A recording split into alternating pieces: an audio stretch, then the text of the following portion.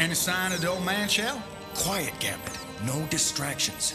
If Jean and Cerebro are gonna have any chance to find Professor Xavier, she has to maintain absolute concentration.